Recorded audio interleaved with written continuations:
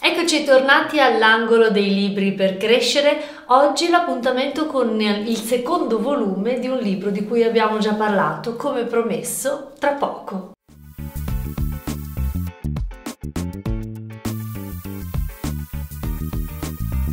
Abbiamo già parlato di un libro che si chiama Le cinque ferite della Lise Bourbeau e in questo libro noi abbiamo avuto modo di vedere quelle che possono essere le ferite primordiali che possono interessare un essere umano. Se non hai ancora visto il video ti suggerisco di andarla a vedere e il link è direttamente nella descrizione di questo video qui, quindi lo trovi subito sotto.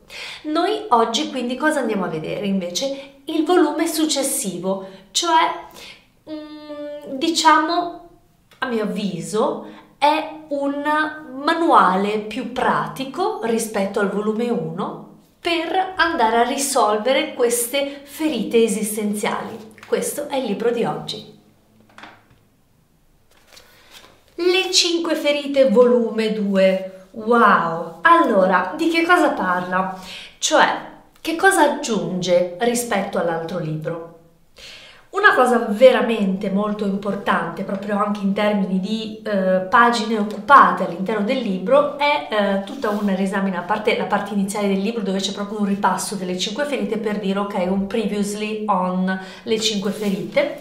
Ok, subito dopo la Lise Bourbeau dedica una parte veramente molto grande e molto interessante all'ego che lei definisce il più grande ostacolo alla guarigione delle ferite. Allora noi abbiamo visto che l'ego è quella parte inconscia, è quella parte mm, spontanea che scatta tutte le volte che magari noi possiamo trovarci in una situazione di sofferenza. Può essere una situazione, un evento, una persona, qualunque stimolo che porti il nostro sistema nervoso no, a recepire, oddio, potrei soffrire. L'ego sta alla base di quella che è la costruzione delle maschere, che sono praticamente l'evoluzione delle ferite. Sento una ferita, non voglio soffrire, maturo una maschera che mm, in teoria mi aiuta a non soffrire più e quindi di conseguenza dopo sono felice, tranquilla e serena. Ok, la Bourbeau entra a pie pari in questo meccanismo e dice no, non è vero. Allora, soffri, Bene, allora mh, mm, subito dopo che tu soffri e quando il tuo cervello ti dice ok, non, per non soffrire più matura questa maschera qui, questa è una cosa finta, è una cosa che non ti fa stare meglio, è una soluzione che non è una soluzione e lei lo chiama appunto l'ego. Quando ti rendi conto che il tuo ego ha preso il sopravvento, capisci immediatamente che stai indossando una maschera associata ad una delle ferite. Per cui, in soldoni, che cos'è l'ego? È la voce della, della nostra sofferenza, è la voce delle nostre maschere, ok? Di conseguenza, la Lise Bourbeau in questo libro va a spiegare nei minimi dettagli come si è formato l'ego, che cos'è l'ego, L'ego quindi che cos'è? Che è caratterizzato dall'insieme di tutte quelle che possono essere le tue credenze, quindi io credo che non sono brava a fare questa cosa, poi magari in realtà lo sono, ma sono talmente convinta, credo talmente tanto questa cosa che quindi non ci provo neanche a farla, no? Oppure magari c'è stata una volta in passato in cui ci ho provato e non ci sono riuscita e quindi da lì è maturata la mia credenza che non sono in grado di fare questa cosa. Poi dice anche che l'ego è quella cosa che ci toglie potere, perché l'ego ha, bisogno, ha un bisogno incessante, come dice qui nel libro, di convincersi che esiste e che è talmente importante da poter esistere per sempre, proprio come l'anima umana. Quindi la sua richiesta diventa talmente forte che noi non sentiamo più qual è la nostra vera richiesta, la nostra vera esigenza, il vero bisogno che è nascosto dietro a quella che potrebbe essere una sofferenza. È veramente molto interessante come approccio. Quindi lei fa tutta questa riesamina e analizza anche quelle che sono le dinamiche di potere che l'ego esercita su di noi. Sembra quasi un soggetto esterno a noi, volendo potremmo anche considerarlo in questo modo. Quindi dice che cosa utilizza l'ego come le critiche, Oppure utilizza le espressioni assolute, tipo al lavoro sei sempre occupato, sei sempre in ritardo, sei sempre eh, maleducato, eh, tutte queste cose qui io immagino che ti sia capitato, vi sia capitato tante volte, insomma, di sentirlo. Dice un po' quelle che sono tutte le dinamiche di potere che utilizza l'ego. È chiaro che quando io conosco queste dinamiche qui, mm-hmm, posso anche capire come fare opporre una resistenza a queste dinamiche. L'importante, no?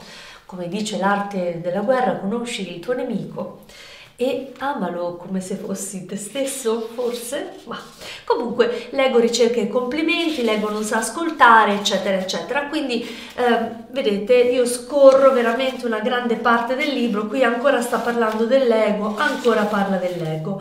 Poi arriva a un'analisi evoluta delle cinque ferite descrive in maniera ancora più approfondita quali sono le maschere collegate alle cinque ferite e come noi possiamo riscontrarle in una qualsiasi situazione di sofferenza. Diciamo che nel libro precedente la Lise Bourbeau ha descritto le cinque ferite separatamente. Ha descritto come si sviluppa il corpo, ha descritto in relazione alle varie ferite, ha descritto quelle che possono essere le abitudini eh, alimentari, le abitudini di vita, le abitudini relazionali collegate alle cinque ferite. In questo libro qui invece lei introduce una visione più generale, più totale, una visione più eh, completa delle cinque ferite. E quindi vede anche dei collegamenti fra queste cinque ferite e vede anche quello che potrebbe essere mh, l'evoluzione di una ferita in un'altra, per esempio la ferita del rifiuto che si evolve in quella della ingiustizia o perlomeno una faccia della stessa medaglia è nella ferita del rifiuto e subito l'altra è nella ferita dell'ingiustizia. Per esempio, in che modo? Nella ferita del rifiuto la persona che soffre questa ferita in qualche modo attacca se stessa, mentre nell'ingiustizia attacca l'esterno e quindi fa tutti questi incastri, osserva, approfondisce e chiaramente io più approfondisco, più conosco, più ho la possibilità di eh, riconoscerlo anche quando mi capita, quando metto in atto, quando metto in pratica una, un, una ferita, quindi una maschera. Poi nella parte finale di questo libro, e questa è l'altra parte veramente interessante collegato al secondo volume delle cinque ferite della Bourbeau, è come sapere quale ferita si è attivata in noi e come fare a risolverla. È proprio più un mm, manuale pratico di cosa fare quando succede questa cosa qua. Per questo diventa veramente ehm, interessante poterlo sfogliare, forse non soltanto una volta, ma anche tante volte, e poi ripetere ancora, risfogliarlo ancora e rileggerlo e rileggerlo ancora, per arrivare a comprendere bene qual è il processo di guarigione dalle cinque ferite, o perlomeno di guarigione da alcuni aspetti di determinate ferite, eccetera, eccetera. Quindi, prima tappa, riconoscere l'ego, riconoscere che in quel momento lì sta parlando l'ego, al posto di te, di quello, di quello, di quello che sei, del tuo bisogno. Come seconda tappa, lei dice di scoprire le emozioni turbolente che provi, quali sono queste emozioni, Fa anche una lista veramente molto piena di tutte quelle che possono essere le emozioni, confuso, contrariato, distaccato, distante, debole, arrabbiato, esasperato, esposto, estenuato, fragile, oh, eccetera, eccetera, ignorato, incastrato, incolpato, incompreso. Che emozione stai provando? Che sensazione stai provando? Subito dopo, nella terza tappa, giudizio, accuse, reazione, che cosa ti anima eh, in base al tipo di reazione che hai, che tipo di ferita stai mettendo in campo e stai mettendo in atto per poi arrivare alla parte finale che è proprio l'accettazione, la guarigione della ferita che sta parlando. La guarigione, come al solito, è l'ultimo capitolo. In questi libri di solito la soluzione sta sempre in fondo e ci sono anche qui tutta una serie di tappe che possiamo seguire per poter arrivare alla, al benessere, alla guarigione, alla, mm, all'accettazione delle nostre ferite, all'accettazione della nostra storia, all'accettazione delle nostre sfide. Sì, questo, all'accettazione della nostra vita, no? no? Forse non è un caso che abbiamo sofferto quella cosa o, uh, o, che siamo qui a raccontarci queste cose, come sempre, insomma a un certo punto arrivo a dire sempre questa cosa, mi rendo conto. Per cui suggerisco tantissimo la lettura di questo libro, Le cinque ferite, volume secondo di Lise Bourbeau.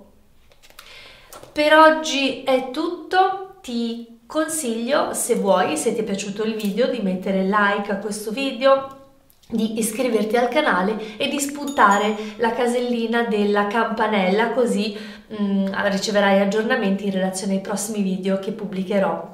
Per oggi è tutto, ti ringrazio, ti ricordo che a un certo punto qualcosa cambia. Ciao!